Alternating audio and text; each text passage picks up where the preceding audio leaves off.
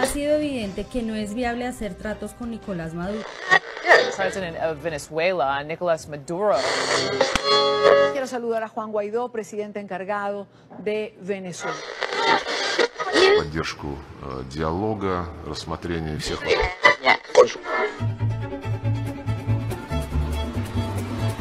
Cuando haya un nuevo gobierno en Estados Unidos, mandaremos un embajador. Un gobierno que respete a los pueblos de América Latina. A la América de Simón Bolívar, carajo. Váyanse al carajo, yanquis de mierda, que aquí hay un pueblo digno. Leales siempre. Leales siempre. Chávez vive. Así somos. Somos Chávez, Bolívar, Sucre. Somos pasión patria. Somos playas, desiertos, sabanas, montañas, selva y nieve. Somos cuatro, maracas y tamboras. Estos somos. Y así es mi tierra.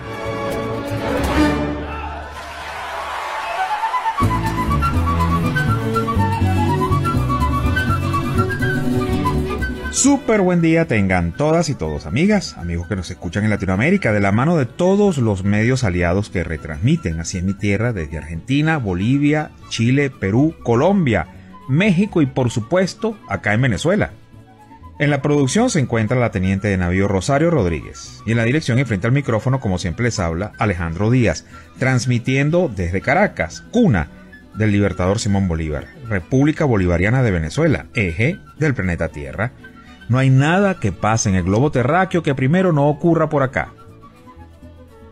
Escuchamos de fondo a la agrupación Ensamble Gurrufío interpretando el tema de Arturo Sandoval intitulado El Cruzado. Y bien, de esta manera iniciamos nuestro acostumbrado recorrido informativo semanal. Tenemos dos temas que se quedaron por fuera de la edición anterior. El primero tiene que ver con la oposición. Ya va, vale, pero relájense, dejen el saboteo, dejen el saboteo, me hacen el favor. Pues bien, el candidato Manuel Rosales, por el Partido de Derecho Un Nuevo Tiempo, renunció a su candidatura para darle paso a una persona que le llaman candidato tapa. Yo prefiero decirle candidato de repuesto, así como un caucho o neumático de repuesto, bueno, igualito. El señor se llama Edmundo González Urrutia, a quien nadie conoce.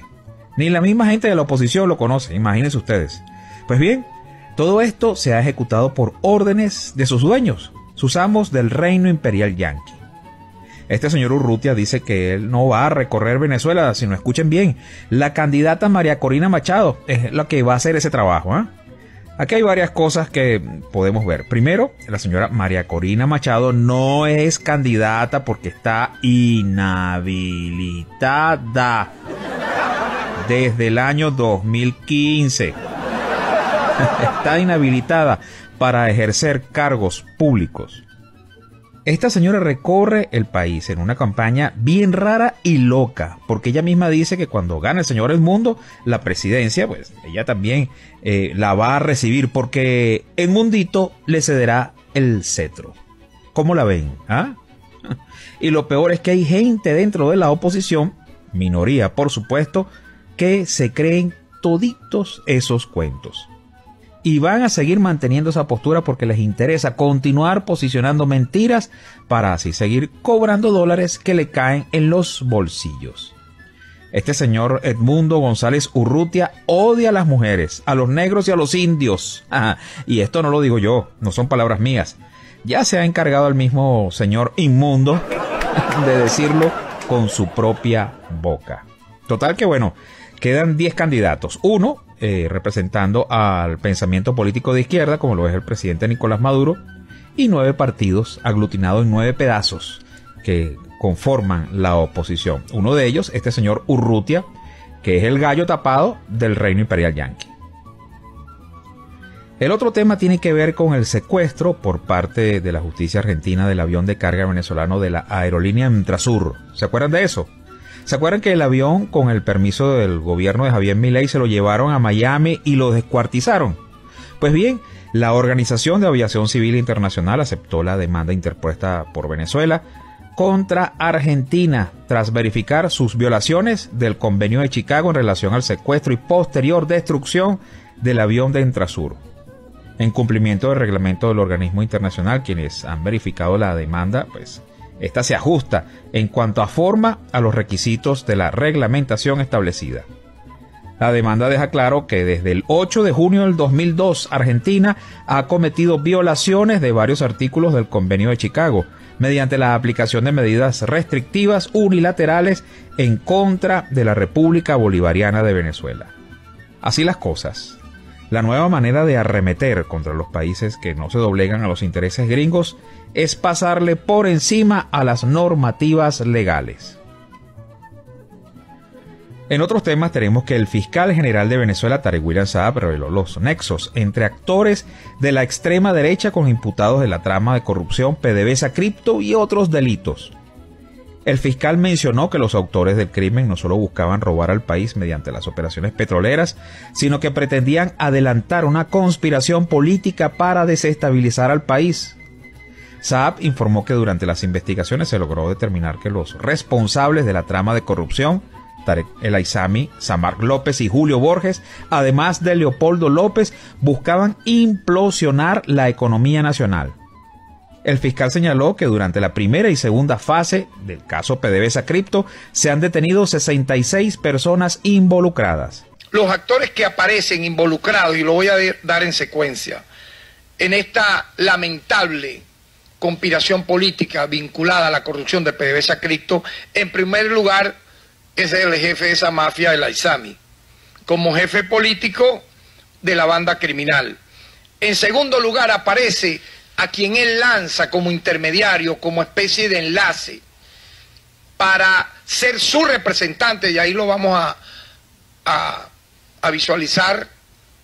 A Samar López lo colocan como el enlace, el entorno más directo de estas personas, con nada más y nada menos que Vamos a ver acá uno a uno. Julio Borges. No te vayas a Borges. Todos sabemos que eres un chorreado, pero calma. Lo bueno no ha empezado. Este bichito, que es el que se la daba de alzado diciendo en el mundo que gracias a él, pues lo decía, yo como canciller del gobierno del malbañado innombrable, yo soy el responsable y logré, y logré, decía él, que se dieran todas las sanciones contra Venezuela, que han matado a mucha gente, ojo. No había por qué sorprenderse, aparece también este sujeto, una persona que ha llevado a la muerte con el programa La Salida y los firmantes con él a centenares de venezolanos en el 2014 y en el 2017 obsesionados por el poder aparece también este tristemente célebre personaje, Carlos Ocariz. Ellos, esto, esto decían que eran enemigos, Leopoldo López por acá, Carlos Ocariz por acá, pero no. Aliados hasta la máxima potencia. Este que en una de las extracciones telefónicas parece como que tuviera pues sí, sufre como de reflujo, hablando. Carlos Vecchio. Y el presidente Nicolás Maduro señaló que la investigación adelantada por la Fiscalía General arrojan elementos contundentes que revelan la configuración de una mafia corrupta con el fin de robar y desestabilizar al país. Además señaló que las investigaciones continuarán para descubrir y capturar a los demás implicados en la trama desestabilizadora, al tiempo que afirmó que el ex ministro de Petróleo, Tarek El Aizami, junto a Samark López y Simón Serpa, sostenían relaciones desde hace dos años con el sector de la extrema derecha y el gobierno de la Casa Blanca. Tenían dos años trabajando juntos. Este señor Samar López es la mano derecha de la ISAMI, desde la Universidad de los Andes, debe saber nuestro pueblo. Llave. Era un grupo que se conformó en Mérida, en la Universidad de los Andes, todo este grupo corrupto, capturado, investigado, convictos y confesos, todo. Y por lo menos, de acuerdo a las pruebas que tenemos en las manos, desde el 2018, desde enero del 2018, estaban en coordinación con la conspiración. ¿Qué pasó en el 2018? El atentado contra mí. Estuvieron en conocimiento del atentado contra mí. 4 de agosto de 2018. ¿Qué pasó el 2019? Un día como mañana. Cinco años. Cinco años del golpe de los plátanos verdes. Estaban en conocimiento del golpe de los plátanos verdes de Altamira. Y estaban así coordinados con el Leopoldo López y con el gobierno, con la Casa Blanca directamente, el gobierno, el John Bolton y compañía, porque teníamos a los corruptos y traidores al lado, los tenía, los tenía.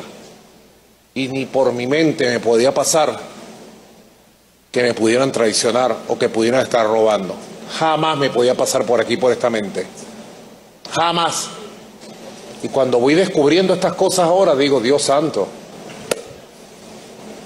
no solo que la chinita puso su mano a aquel atentado con drones, sino que Dios estuvo, porque la forma en que manejamos el tema de la operación Gedeón excluyó siempre a la ISAMI. Cuando él estaba en las reuniones más importantes de todos los grandes temas.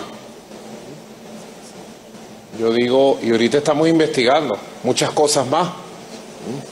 Y luego tenían una conspiración activa donde estaba Julio Borges, Carlos Vecchio como el gran extorsionador, porque Carlos Vecchio se encargaba de la extorsión, extorsionaban empresarios, etcétera. Carlos Ocariz, presidente, que no lo nombró. Carlos Ocariz, eran los grandes extorsionadores. Amenazaban gente en Venezuela de ponerles órdenes de captura en los Estados Unidos, sanciones, y le pedían plata. Había una gran red de corrupción. Cuando veníamos en ascenso sólido de nuestra economía, volvíamos a caer. Esto pasó varias veces. Una vez echado a un lado Tarek El y demás secuaces del gabinete ejecutivo, pues ya lo vemos. El crecimiento de Venezuela es uno de los más altos de Latinoamérica pese a las nuevas sanciones impulsadas por la gente de Abolengo, sumisa al reino imperial yanqui. Estas sanciones nuevas ralentizaron un poco la economía actual, pero afirmó el presidente Maduro que para este segundo semestre del año llegaremos a la meta económica establecida. Y este jueves el fiscal general de Venezuela, Tarek William Saab, reveló nuevos audios que vinculan a un sector de la oposición con los implicados en la trama de corrupción PDVSA Cripto. Enfatizó también que siempre se ha brindado información sobre todas las indagaciones que continúan en curso. También denunció que el ministro y expresidente de PDVSA, Tarek El Aizami, y sus ayudantes llegaron a poseer una organización criminal haciendo énfasis en los audios recolectados con más de 40 horas de grabación, donde se menciona la participación también de la diplomacia de Estados Unidos. Expresa y revela la trama de corrupción, ya no solamente de conspiración política, oigan, de brutal corrupción mil millonaria que involucra a particular y especialmente, lo digo de entrada, a Leopoldo López y a Julio Borges con la trama de corrupción PDVSA Cripto. Quiero ver a dónde se van a meter. Con lo que explicó Samar López, que recordemos es la mano derecha de la de cómo fue el móvil de la corrupción a través de los buques petroleros que asignaban a discreción sin que quedara registro y rastro, utilizando la figura de unos contratistas estrellas. Se hablaba abiertamente de derrocar al gobierno del presidente Nicolás Maduro o se comentaba sobre la operación Gedeón y el golpe de Estado camburero, pero igual un golpe intentado con granadas y fusiles el 30 de abril del año 2019. Lo hablaban allí como lamentándose de por qué no se había logrado el objetivo. No, bueno, es que pasó esto, no, es que aquel cantó, es que eh, cuando íbamos a hacer la operación y que iban a llegar un millón de personas a Puente Altamira, llegaron, fueron siete nada más. Y así sucesivamente, lamentándose. Y de la operación Edión, una operación terrorista, tercerizada a través de una empresa mercenaria, Silvercorp, donde hay un contrato millonario de más de 200 millones de dólares, donde aparece firmando Guaidó, entre otros, ese contrato. Son como las cucarachas. Cuando usted piensa que ya las exterminó, empiezan a salir aquellas chiquiticas de sus agujeros. Realmente esta gentuza lo que da es asco, que para nada le importa el país, mucho menos el pueblo. Mientras la gente pasaba trabajo duro, ellos se daban la gran vidota, ¿ah? la gran vida. Qué nefasto, de verdad, qué terrible. Afortunadamente, el bien siempre triunfa sobre el mal y estas basuras no podrán contra el pueblo del libertador Simón Bolívar. En otros temas tenemos que el pasado 30 de abril se conmemoraron cinco años de la fracasada Operación Libertad, liberada por los sectores fascistas de la derecha venezolana y financiada por Estados Unidos y que se llevó a cabo frente a la Comandancia General de la Aviación al este de Caracas, en el distribuidor Altamira. Escuchemos mayor detalle en la voz de nuestro compañero Roberto Presa. Misma hora, la misma fecha y en el mismo lugar, decenas de venezolanos se concentraron para recordar aquel oscuro episodio promovido por un grupo de golpistas. La llamada Operación Libertad fracasó y ahora el pueblo y su gobierno la recuerdan como un hecho histórico que demostró la unidad cívico-militar y la sensatez de sus gobernantes. Ese día de hace cinco años les dimos una gran lección, o varias lecciones, pero la primera, quizá fundamental, que hemos demostrado que en cualquier situación de adversidad, cualquier situación de ataque, cualquier situación de peligro, nosotros actuamos unidos, unidos en Chávez, pueblo, Fuerza Armada, fuerzas policiales, actuamos unidos. El epicentro de la fallida operación fue la base aérea La Carlota, donde un reducido grupo de militares desleales a la Constitución y a la patria vendían al mundo un falso alzamiento armado. El general Alexis Cabello era en ese entonces el responsable de dicha base. Este día lo podemos nosotros recordar con el, como el día de una profunda lealtad a un proceso, una profunda lealtad a todo lo que significa el renacimiento de una patria, donde se puso a prueba la conciencia de un pueblo. Siempre va a existir esos destellos de traición en toda, digamos, en, en todo un proceso, sobre todo en un proceso de refundación de una patria. Cuando no se entiende bien, cuando no se está claro en algunos sectores, en algunas personas, cuál es el verdadero futuro cuál es el verdadero derrotero que ha decidido tener un país. Los cabecillas del intento de golpe de Estado, Ricardo Figuera, Juan Guaidó y Leopoldo López, huyeron dejando engañados a un grupo de maros venezolanos. Cinco años después, la revolución bolivariana se mantiene firme. Y hoy estamos de alguna manera, celebrando ese triunfo que en ese momento dimos para derrotar a ese fascismo eh, que siempre ha querido ir en contra de los intereses de nuestro pueblo y nuestra patria. En este quinto aniversario se destacó la fortaleza de los líderes de la revolución bolivariana, de no caer en la provocación de los grupos desestabilizadores que llamaban a la violencia terrorista, en una criminal estrategia de buscar un baño de sangre. En otras informaciones tenemos que la Asamblea Nacional ha creado una comisión especial para establecer las responsabilidades políticas en la trama conspirativa PDVSA Cripto y se calificó en duros términos a los implicados en esta artimaña conspirativa. Escuchemos a nuestro compañero Leonel Retamal, quien nos acerca mayor detalle al respecto. Durante el debate parlamentario, el presidente de la Asamblea Nacional ratificó la línea de investigación de la Fiscalía venezolana, que amplió la rama de corrupción develada hace un año hacia objetivos políticos contra el gobierno venezolano, tramados por la extrema derecha y Estados Unidos. Porque eso no fue solamente actos de corrupción como tal, no fueron actos solamente de enriquecimiento ilícito, tenían la direccionalidad de maltratar, de agredir, de atacar al pueblo de Venezuela. Cuando nos desviaban los barcos de gasolina, era para agredir, para atacar, para violentar al pueblo de Venezuela.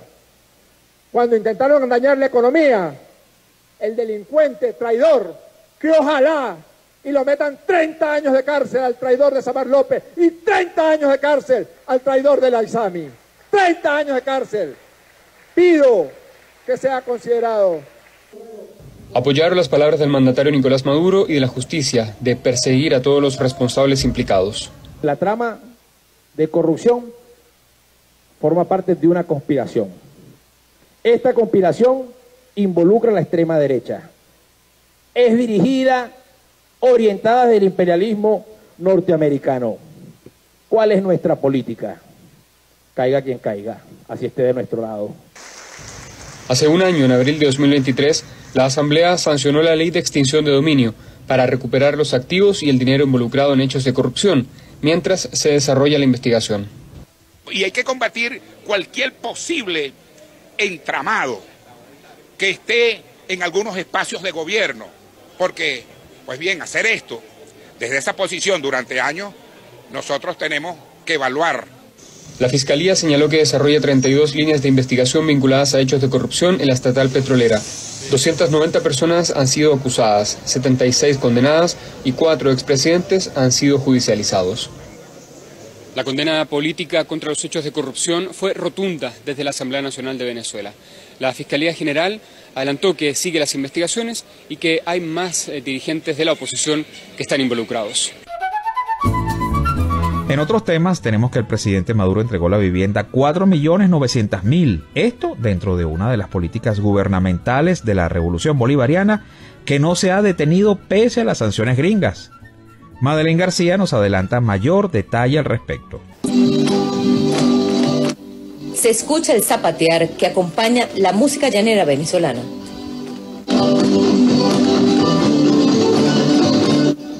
Hay mucho que celebrar inauguran un nuevo urbanismo de la misión Vivienda Venezuela que nació hace 13 años con el comandante Hugo Chávez. A ustedes, felicitaciones, felicitaciones. ¿Qué edad tienes tú? Siete años. Siete, bailas muy bien, ¿oíste? ¿Cómo te llamas? Charlotte. Es el triunfo de una Venezuela en resistencia. Hoy vamos a entregar la vivienda 4.900.000. Se abren las puertas de una nueva vida. Es el grupo familiar, precisamente. Es la casa de las familias Rosanes, jóvenes que crecieron y se prepararon al calor de las políticas sociales y la misión vivienda es una de ellas. Sus primeros invitados, la familia presidencial, y comenzó la tertulia. Y que tenemos un sueño muy importante, que es ver crecer a nuestros hijos en el mejor país del mundo, que es Venezuela.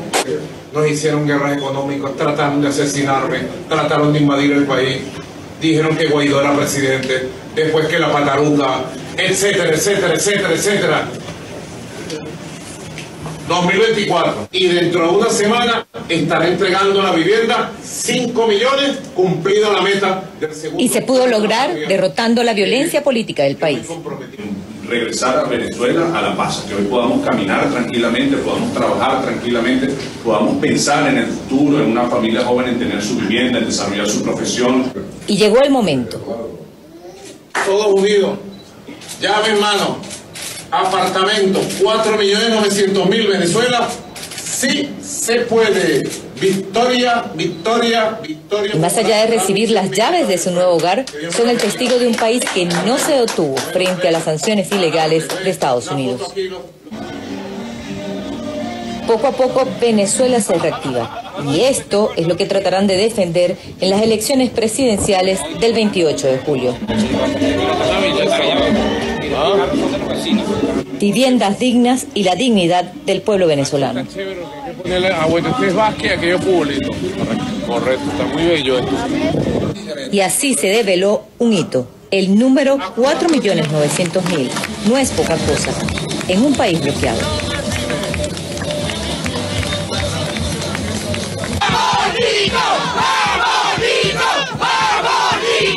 A las afueras del urbanismo del ingenio esperaban al mandatario venezolano.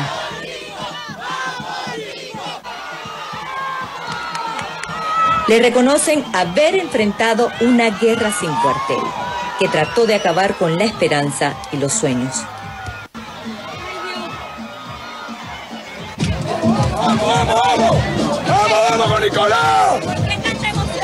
¡Coño, porque Nicolás era el pueblo! ¡Nicolás de los panas! ¡Nicolás del barrio y el presidente de la República! Maduro se medirá con nueve candidatos de oposición en tres meses. Y nuevamente información del presidente Nicolás Maduro. En esta ocasión, pues eh, la noticia fue que ha marchado junto a la clase trabajadora este primero de mayo anunció el incremento del 86% en el salario mínimo integral indexado. Al mismo tiempo, denunció que la no renovación de la licencia 44 por parte de Estados Unidos generó pérdidas parciales de 2 mil millones de dólares. Nuevamente, vamos a escuchar a nuestra compañera Madeleine García con mayor detalle al respecto. En ese río de gente de la clase obrera, en el mero corazón, estaba el presidente Nicolás Maduro.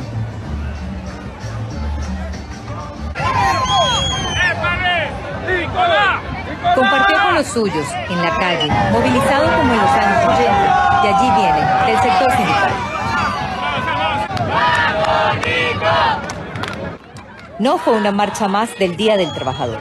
Fue la celebración de muchas luchas que han vencido como las del 2017, donde la oposición trató de dar un golpe de Estado con las llamadas guarimbas o revolución de color. Ese año, en el Día del Trabajador, Maduro convocó la constituyente que trajo la paz que se vive en el país. Y hoy la batalla continúa para que Estados Unidos levante las sanciones ilegales. Para nosotros es impresionante. Esta es la marcha, yo he participado, que te digo, en los años 80, en marcha y esta es la más grande movilización de la clase obrera en toda nuestra historia. Impresionante. Y aquí vamos con el pueblo, marchando en las calles. Una de las cosas que nos han dicho en esta marcha es levanten las sanciones y verán cómo el sueldo vuelve nuevamente con sanciones o sin sanciones, vamos a recuperar los ingresos de los trabajadores pendientes. Y precisamente el aumento del ingreso mínimo integral fue uno de los anuncios en la plenaria que luego se llevó a cabo con los trabajadores petroleros. Hoy he decidido subir el ingreso mínimo integral de los trabajadores a 130 dólares el mínimo. Y que crecientemente la capacidad de los trabajadores. Un ingreso que podría recuperarse más rápido, pero Estados Unidos envió un nuevo misil. A petición de la oposición radical no renovó la licencia 44 a PDVSA y esto trajo consecuencias. Que hicieron daño, hicieron daño. Solo por esos anuncios, pérdidas parciales por encima de los 2 mil millones de dólares para este cuatrimestre en los ingresos. Pero a nosotros no nos para nadie. Se mantuvo el ritmo de crecimiento de la producción petrolera, quizás a una menor velocidad de lo que se esperaba, pero sostenida, sostenible y nuevamente explicó en qué consiste el chantaje de Washington. Que para producir su petróleo en su tierra, sacarlo y luego llevarlo en barcos y venderlo, tenga que pedirle licencia a otro país. Puede aceptar Venezuela que se le imponga un modelo donde tengamos que ir a Estados Unidos a pedir licencia para producir nuestro petróleo. Jamás lo aceptaremos. Jamás. Colonia, jamás. Independencia o nada.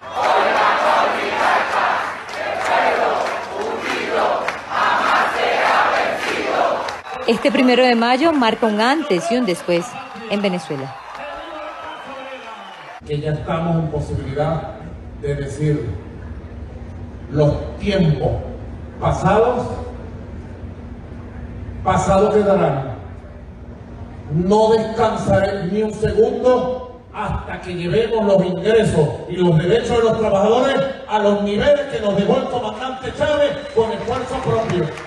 Con economía productiva. Entre otros anuncios, también el mandatario venezolano informó que acordaron con los empresarios un aporte tributario que destinará al incremento de las pensiones y para ello se introducirá un proyecto de ley especial en la Asamblea Nacional y entregó el primer banco digital a la clase obrera.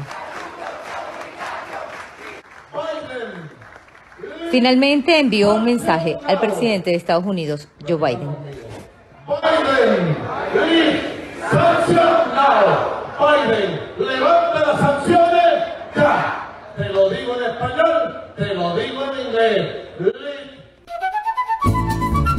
Y bien, esto es todo por ahora, así que nos vamos. En la producción estuvo la teniente de navío Rosario Rodríguez y frente al micrófono quien les habla Alejandro Díaz. Pero no podemos irnos sin recordarles nuestros contactos. En la red social X estamos como arroba tierra así con dos A, tierra así. Nuestro canal de YouTube, Así es mi tierra, y nuestro canal de Telegram, Así es mi tierra, Venezuela.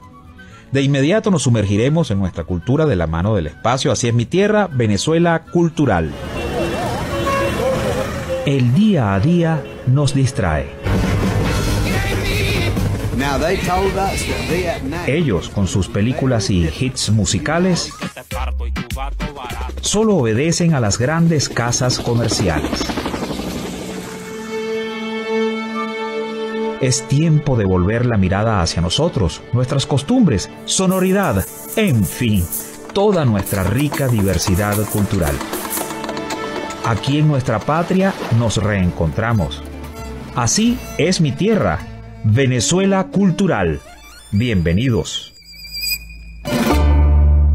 La Santísima Cruz de Mayo, ay la la, la conchita está en el mar, la e. ¿Quién te puso en esa mesa, y la la oh?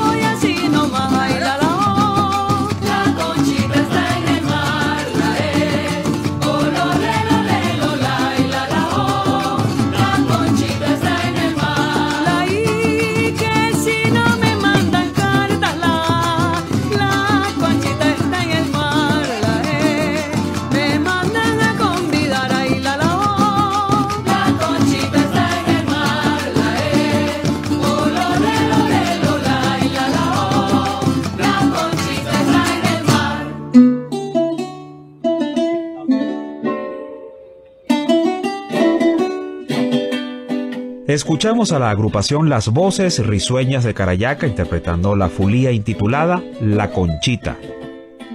Y ustedes dirán, bueno, pues, ¿qué es una fulía? Pues bien, la fulía es un canto de índole religioso, herencia cultural de las Islas Canarias por su parentesco con la folia isleña. En nuestro país es una expresión musical que forma parte de los velorios de cruz de la región centro costera y la región oriental. Escuchamos de fondo a los maestros del Cuatro Che Hurtado y Alfonso Moreno interpretando un golpe de fulía, pues este golpe nos abre las puertas para hablarles del mes de mayo. Este es el mes de la Virgen, de las Madres y el también llamado mes de las flores.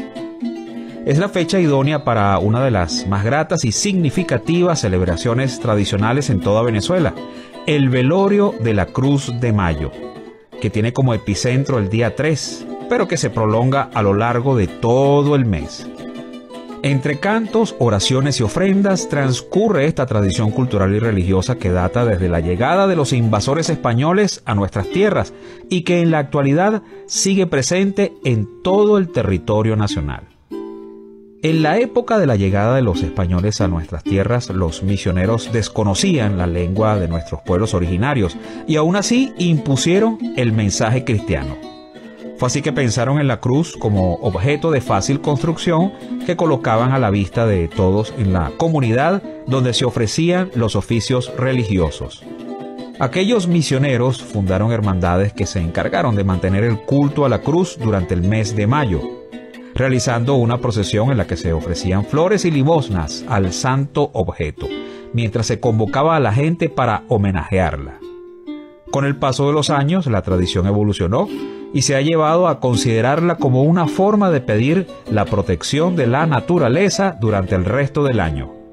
Surgió de esta manera la tradición de vestir la cruz el primero de mayo, y al día 3, concluida la festividad, pues la cruz del pueblo era llevada en procesión por la localidad.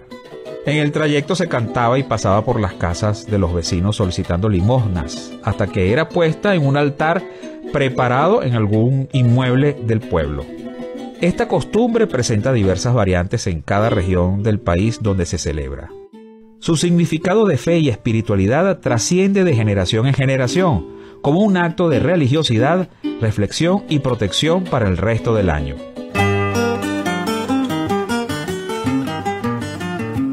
Escuchamos el tema intitulado J, Fulía y Golpe de Beto Valderrama. Beto es músico y compositor nacido en la isla de Margarita, Estado Nueva Esparta, ubicado en nuestra región nororiental del país. Beto Valderrama es uno de los compositores más prolíficos que tiene la isla de Margarita y sus obras, las cuales pasan por más de 200, han sido grabadas por reconocidos artistas nacionales.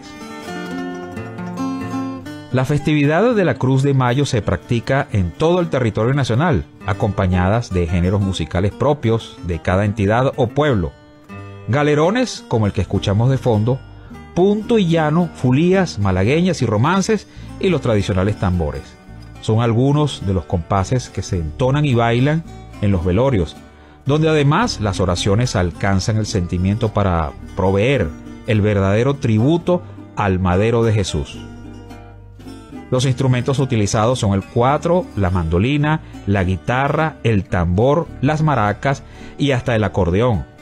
Se reparten también bebidas y dulces típicos. Los rezos, la comida y demás elementos varían de acuerdo a la localidad. Como tradición se elabora una cruz de madera, ubicándola siempre en un lugar alto y visible, la cual es pintada, vestida con papeles de colores y adornada con flores campestres. El altar de la cruz es generalmente hecho con una estructura de caña amarga arqueada y muy bien labrada, para conformar una especie de nicho forrado con sábanas y engalanando con cintas de colores. En el año 2014, el gobierno bolivariano declaró a la Cruz de Mayo como Patrimonio Cultural de Venezuela para enaltecer una de las tradiciones populares más antiguas y significativas del país presente en la mayoría de los estados del país. Y bien, esto es todo por ahora. En la producción estuvo la teniente de navío Rosario Rodríguez y en la dirección y locución quien les habla, Alejandro Díaz. Nuestros contactos en la red social X estamos como arroba tierra así con dos A, tierra así. Nuestro canal de YouTube, así es mi tierra, y nuestro canal de Telegram, así es mi tierra Venezuela. Ha sido un verdadero placer estar con todas y todos nos reencontraremos la semana entrante en Así es mi tierra, Venezuela Cultural. Pero antes escucharemos el tema Aguacerito de Mayo en la voz de nuestro querido Francisco Pacheco. Nos escuchamos la semana entrante. Un fuerte abrazo a todas y todos.